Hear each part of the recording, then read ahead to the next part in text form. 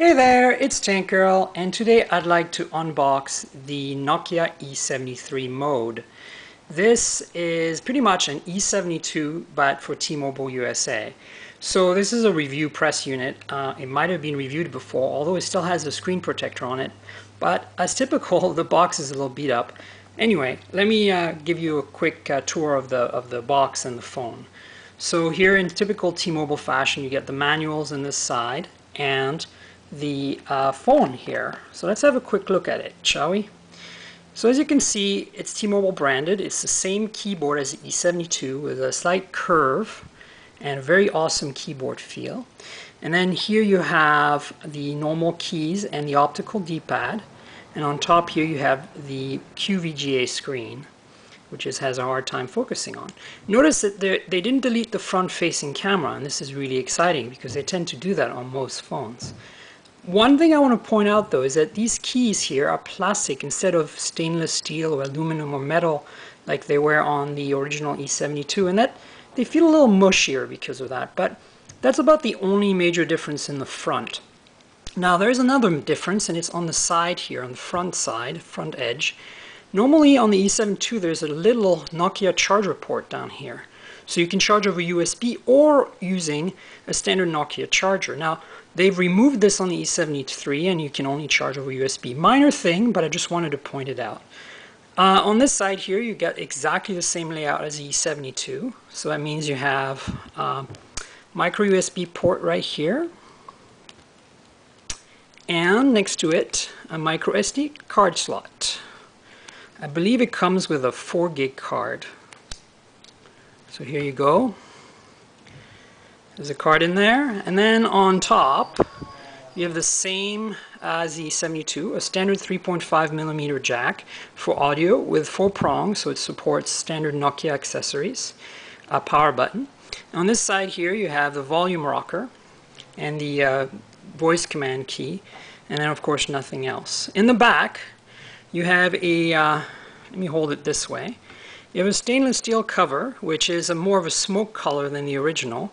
The little latch release hasn't been changed, so it still feels a little on the flimsy side. Let me wait for it to focus there. So it's easy to kind of accidentally touch and open the cover. That's something that was better designed the E71, but the E72 is the same. And then here on the back, finally, you have the 5 megapixel camera with autofocus and flash and the speaker. Now this, this camera is really amazing. Like I reviewed the E72 and the E72 camera. I had it for about four months as a review unit and I took some incredible shots with this. Don't, don't let it, don't write it off as just a business phone so it has a Mac camera. This is a really imp impressive camera for a business phone. Probably the best I've seen on a business phone. It's up there with the Nexus 1 camera and some of the N-series cameras. So it's pretty impressive. Um, anyway, let's go on to see what's in the box. So there's a little cardboard divider here. And then here you have a car charger, which is really nice. They provide us a micro USB uh, car charger. And I'll, I'll get back to why in a second. Here you have a standard Nokia um, micro USB AC adapter you have the headphones, of course. Um, these are standard Nokia headphones with an inline remote, I believe. I can't really see it here, but let's see. Yeah, I can't see it. And then there is a very, very, very short micro USB data cable. Very short. They've done that a lot on the US models. It's a very short data cable on the uh, X6 as well, I believe. And then here you have a, a carry pouch uh, this is looks like the same carry pouch as the uh, the E72. So this is it for the box. Let's quickly look at what's in the manuals here. Um, so that, there's not much. There's just a single manual, safety and reference. And I think there's nothing else in the box. So basically, this is what the E73 is about. Um, I'm uh, going to put this phone through its paces. Um, probably not going to do a, a, full review since it's very similar to the E72. But let's uh, just power it up and you can see the T-Mobile branding here.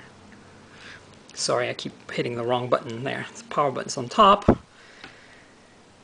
Yeah, so it's, it's a gore. I mean, what is amazing about this is that it's it's a seventy dollar phone on contract, and even though it's not a touchscreen phone, I mean, it'll put it'll put your BlackBerry to shame. It's that good. Um, there's no doubt about it. That's the best. Ta-da! Here you go. You get the T-Mobile song. It's the best non-touch business phone money can buy, in my opinion. For seventy bucks and two-year contract, you just can't go wrong. So here you go, here's uh, the main screen. Um, and uh, of course, they haven't crippled it in any way other than, you know, as I said, removing the, the, the charging port, which is a minor thing. They, they haven't screwed up the software. It's, it comes with all the Ovi services, including navigation, which is why it comes with this uh, car adapter for navigation. And uh, it um, has all of the, you know, facilities of a standard Symbian series uh, S60 version 3 phone. Um, of course, feature pack 2. So pretty awesome, I would say, um, of a device. Let's, uh, let's take out the battery and I'll show you what's in here. It's the giant uh, BP 4L uh, battery that comes with all the uh, all the for some reason I can't get it out. There we go. For all with all the E series phones lately, um, it's uh, you can easily go a week on standby with this battery, so it's very uh, much a business phone type of battery. Let's see what the capacity is. 1500 milliamp hour on a phone that sips power. Um, the, the SIM tray is up here. Now it takes a, takes a bit of, of work to pull it out. Let me see if I can get it out. And so pull on this and then you can pull the SIM out. Um, there's really nothing else in the battery cover. Um, so yeah, I mean, it looks it looks and feels exactly like an E72, um, and uh, that's a good thing. I think this is one of, as I said, one of the best phones Nokia's made, and of course, it being available now for T-Mobile for so cheap is a pretty impressive feat. Uh, finally, I just want to point out, obviously, there's another major difference between this and the E72, and that makes perfect sense. It's that this is uh, designed to operate on T-Mobile's 3G. Um, so it supports AWS 1700 megahertz instead of the 850 1900 that uh, are standard on the E72. So the E72 would be the phone you'd want to buy if you wanted to be on AT&T 3G in the US. And if you are on T-Mobile, it's a no-brainer. You just walk in the store and buy the E73 uh, if you want that kind of phone. So that's all, obviously another difference. I think that instead of 850, 1900, they went 1700, 900, which means that you obviously still have the 2100 megahertz band for 3G in Europe and uh, Japan.